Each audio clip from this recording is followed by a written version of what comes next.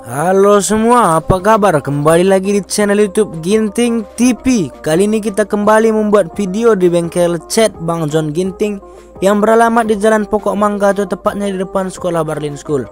Yang akan kita videokan pada hari ini adalah sesuai dengan request kalian yang penasaran bagaimana tampilan Makaro 708 saat ini. Jadi, saat ini Makaro 708 sudah selesai didempul. Penasaran bagaimana tampilannya? Silahkan saksikan video ini sampai selesai.